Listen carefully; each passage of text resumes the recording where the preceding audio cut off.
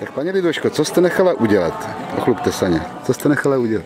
Tak za rodáky jsem nechala udělat e, svíčku, protože si myslím, že to je to světlo, který svítí v temnotách a že tady po nás může zůstat po nás rodákách. A tady mám druhou svíčku pro Jarušku Hruškovu, pro paní starostku, protože si myslím, že za ty tři dny, které tady pro nás rodáky připravila, tak až bude mít klid, že si tu svíčku může rozsvítit a budeme s ní rodáci pořád. Takže to jsem pěkné. tak jako myslela na to. Nejsou to jakýkoliv velký dary, ale myslím si, že je to může potěšit, jak všechny ty naše občany, tak i Jarušku, která si to moc zaslouží. Tak děkuji. děkuji.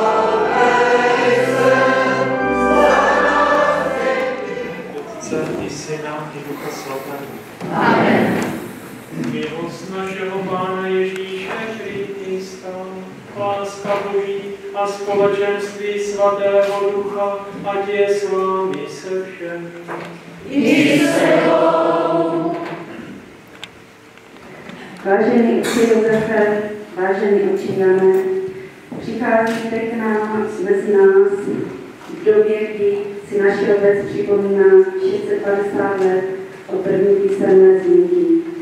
A my, občané a vydáci, jsme se tu dnes romáždili, abychom vyjádřili věčnost našich předků za hodnoty, které v průběhu dění letničky pro nás vytvořili my na ně chceme navázat a chceme dál společně rozvíjet. Proto jsme si vybrali za symbol letošních oslav eh, podané ruce. Tomu potřebujeme povzbuzení, které od vás očekáváme. Buďte mezi námi srdečně vítáni.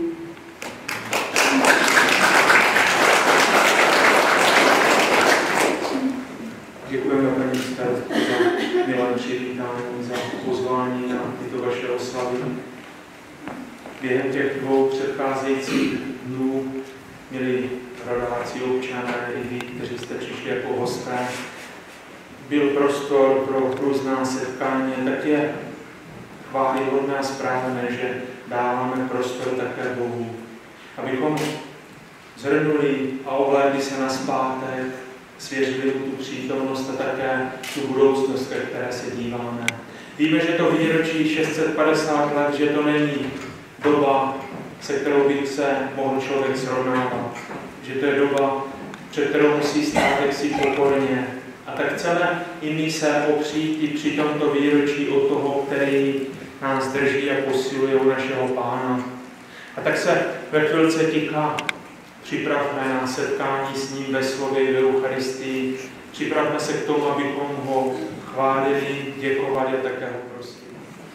Čtení z Zjevení svatého Apoštola Jana. Boží chrám nebi se otevřel a ukázala se v něm archa jeho vrcholu. Pak se objevilo na nebi veliké znamení. Žena oděná sluncem, s měsícem pod nohama a s korunou z dvanácti hvězd kolem hlavy. Potom se objevilo na nebi další znamení. Veliký ohnivě rudý drak se sedmi hlavami a deseti rohy a na každé hlavě měl čelenku. Ocasem smetl třetinu hvězd z nebe a svrhl je na zem. Ten drak se postavil před ženu, která měla rodit, aby pohltil její dítě, jakmile ho porodí. A porodila syna, chlapce, toho, který má vládnout všem národům železným trupem. Avšak její dítě bylo uchváceno do nebe k Bohu, k jeho trůnu. Žena pak uprchla na pol, kde měla místo připravené od Boha. Tu jsem uslyšel hlasité volání v nebi. Od nynějška patří vítězství, moc a království vláda našemu Bohu a panování jeho pomazaného. Slyšeli jsme slovo Boží.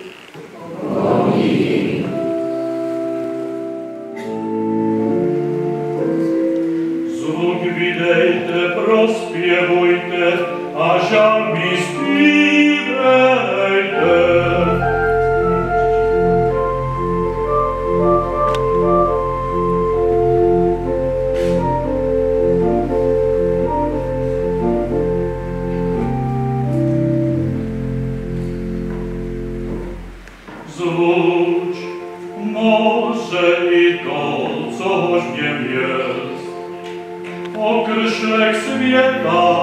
Světa i ti, což na něm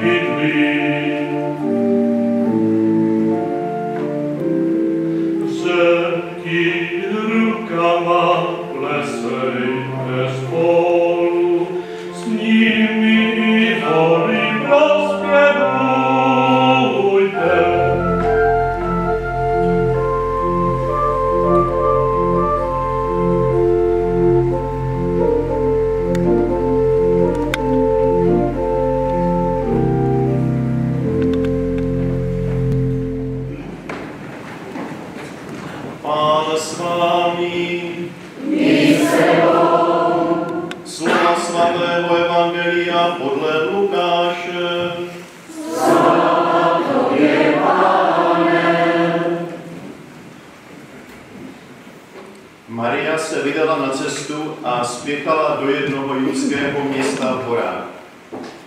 Vešla do Zachariášova domu a pozdravila Alžbětu.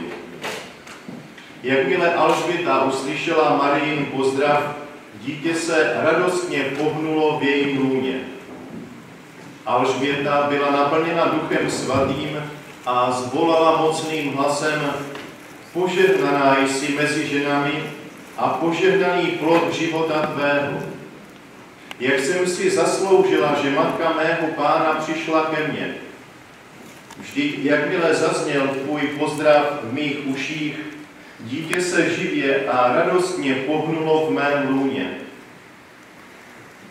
Blahoslavená, která jsi uvěřila, že se splní to, co ti bylo řečeno od Pána. Maria řekla, velebí má duše hospodina a můj duch jásá v Bohu mém spasiteli, neboť schlédl na svou nepatrnou služebnici. Od této chvíle mě budou blahoslavit všechna pokolení, že mi učinil veliké věci ten, který je mocný. Jeho jméno je svaté a jeho milosrdenství trvá od pokolení do pokolení těm, kdo se ho bojí. Mocně zasáhl svým ramenem, rozptýlil ty, kdo v srdci smýšlejí pišně. Mocné se sadil z trůnu a ponížené povýšil. Hladové nasytil dobrými věcmi a bohaté propustil s prázdnou. Ujal se svého služebníka Izraele, pamatoval na své milosrdenství, jak slíbil našim předkům Abrahamovi a jeho potomkům na věky. Maria zůstala u Alžběty asi tři měsíce a pak se vrátila domů. Slyšeli jsme slovo Boží. Ať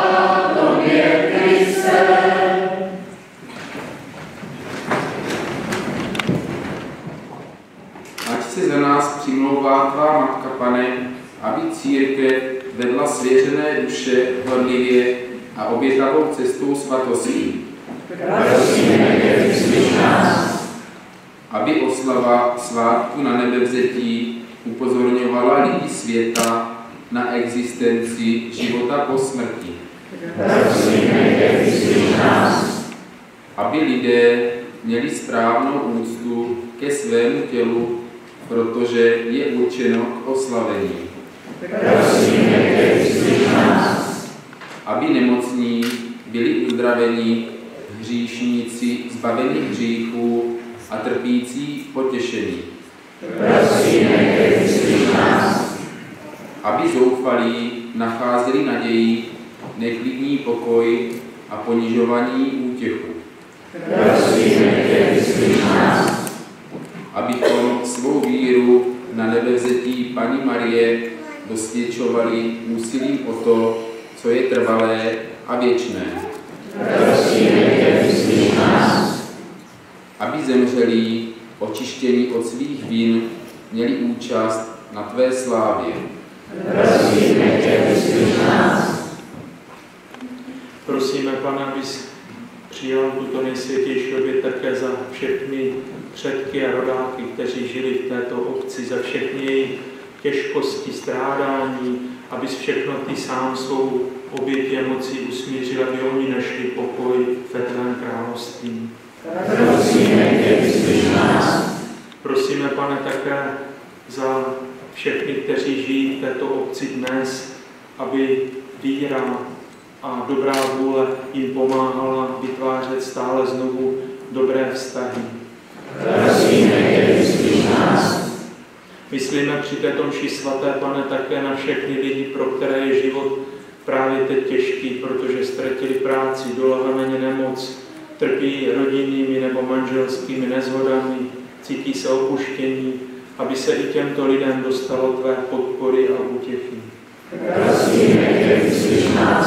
Přijmi, pane, tuto nejsvětější oběť za všechny občany a rodáky z Blatničky, za ty, kdo se starají o tento chrám a kdo v něm konají kněžskou i jinou službu.